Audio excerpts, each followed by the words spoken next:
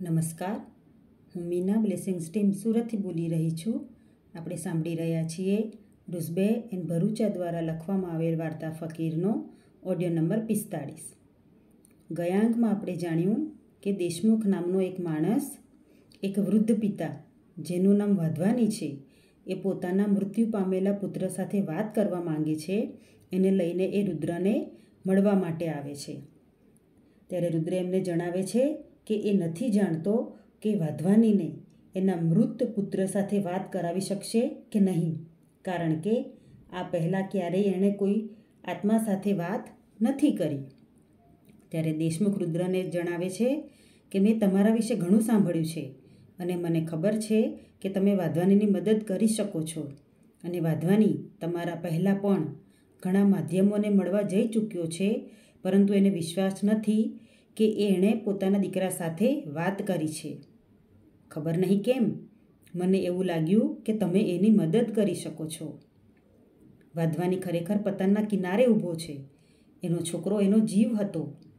વાધવાનીની આત્મા એના છોકરામાં વસતી હતી. રુદ્રએ દેશમુખને ઘણો સમજાવ્યું, પરંતુ રુદ્રનો મિત્ર દેશમુખ ન માન્યો અને રુદ્રને વાધવાનીને મળવા માટે હા કહેવી જ પડી. હકીકત તો એ હતી કે રુદ્રની અંદરથી કોઈએ કોમળ સ્વરમાં કહ્યું હતું કે, જા, જઈને તું એ વ્યક્તિને મળ. રુદ્રએ મનમાં ને મનમાં બાબાને પોકાર કર્યો. બાબા, તમે ક્યાં છો? મારા ઘરડા બાબા, મને તમારી ખૂબ જ યાદ આવી રહી છે. થોડા સમયથી રુદ્રનું સ્વાસ્થ્ય સારું નહોતું રહેતું. થોડા સમયથી એના શરીરમાં દુખાવો રહેતો હતો અને એને પોતાના ઉર્જાના સ્તરને જાળવી રાખવામાં મુશ્કેલી પડી રહી હતી. રુદ્ર આખો દિવસ પોતાની હિંમત એકઠી કરતો રહ્યો. એણે આખી જિંદગીમાં આટલી નબળાઈ ક્યારેય નથી અનુભવી. રુદ્રને યાદ આવ્યું કે બાબા મોટે ભાગે કહેતા હતા કે દુનિયામાં ચારે બાજુ પ્રકાશ ફેલાવવાનું કાર્ય કરનાર ઈશ્વરના માધ્યમને શારીરિક અસ્વસ્થતા અને માનસિક થાકના અંધકાર જેવી પરિસ્થિતિમાંથી પસાર થવું પડે છે. અને રુદ્ર એ પણ જાણતો હતો કે બાબા પણ નબળાઈ, બીમારી અને દુખાવાથી ત્રસ્ત રહેતા હતા. પરંતુ બાબાએ સેવા કરવાનો નિયમ નહોતો છોડ્યો. ઘણા દિવસો વીતી ગયા હતા, પરંતુ બાબાની કોઈ જ ખબર નહોતી. બાબા ત્યાંથી ગયા, એને ત્રણ અઠવાડિયા વીતી ગયા હતા. રુદ્રએ પોતાની જાતને સમજાવ્યું કે બાબા કોઈ જરૂરિયાતમંદને મદદ કરવા ગયા હશે. જેવી રીતે એ એને પોતાને મદદ કરવા આવ્યા હતા એમ. રુદ્રનું પરમાત્માના માધ્યમ બનવાનું કાર્ય તો શરૂ થઈ ગયું હતું. પરંતુ રુદ્ર પોતાની જાતને બહુ જ થાકેલો અનુભવ કરી રહ્યો હતો. પરંતુ એને પોતાની ખોવાઈ જતી તાકાતને સાચવી લેતા આવડી ગયું હતું.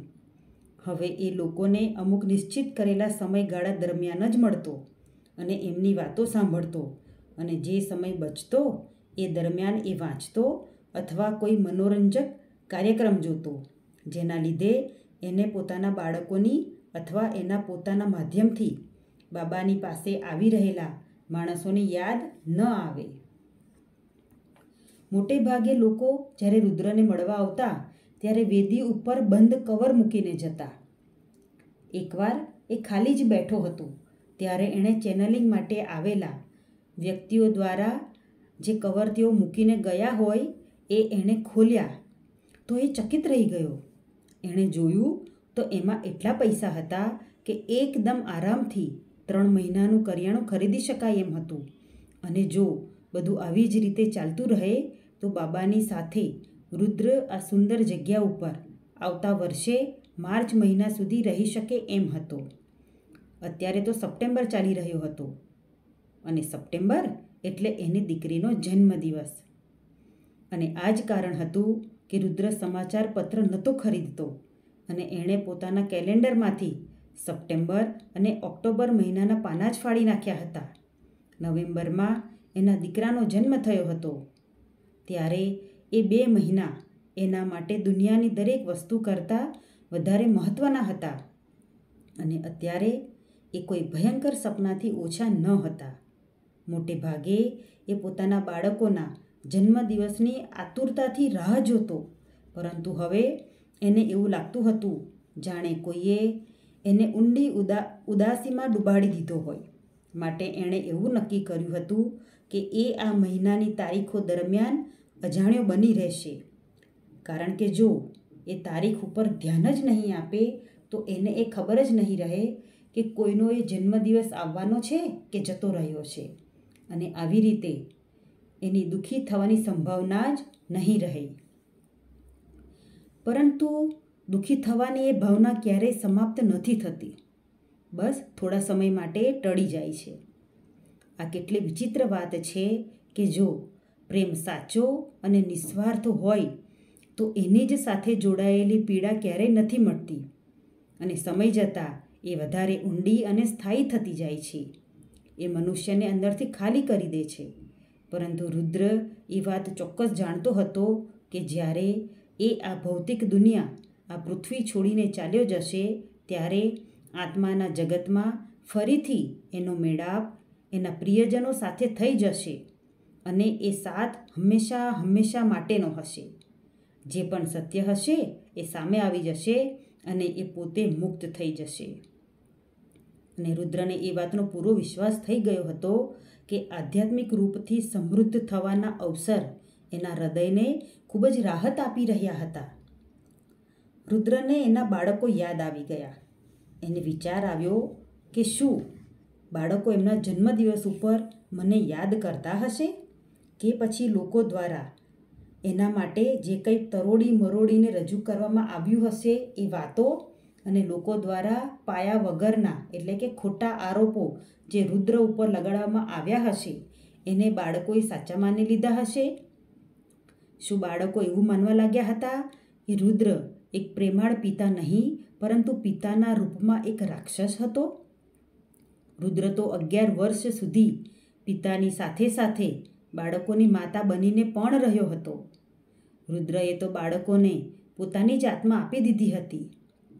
શું લોકો દ્વારા રુદ્ર વિશે જે ખરી ખોટી વાતો, જે કડવા આરોપો લગાડવામાં આવ્યા હતા, એ રુદ્રના પ્રેમ ઉપર ભારે પડ્યા હતા? રુદ્રએ એવી ઘણી વાતો સાંભળી હતી, જેમાં બાળકો, બાળપણમાં મળેલા પ્રેમ અને લાગણીને ભૂલીને એ જ વિચારવા લાગ્યા હોય, જે એમના મનમાં ભરી દેવામાં આવ્યું હોય. વિચારોમાંથી બહાર નીકળીને રુદ્રએ સિગારેટ કાઢી, થોડી ચાવીને પછી ઊંડો શ્વાસ લીધો. રાત બહુ વીતી ગઈ હતી. એ પોતાના ઓરડામાં ગયો. ઓરડામાં અંધારું હતું. ત્યાં બસ સોનેરી રંગની જ્વાળા અને સિગારેટની ચમકતી ચિંગારી જ એ અંધારા ઓરડામાં અજવાળું આપી રહ્યા હતા. તેમજ બહાર પણ કોઈ ચંદ્રમા નહોતો અને ચારેય તરફ અંધારાનું સામ્રાજ્ય હતું. બહાર ફક્ત દરિયાની લહેરોનો સ્વર સંભળાઈ રહ્યો હતો.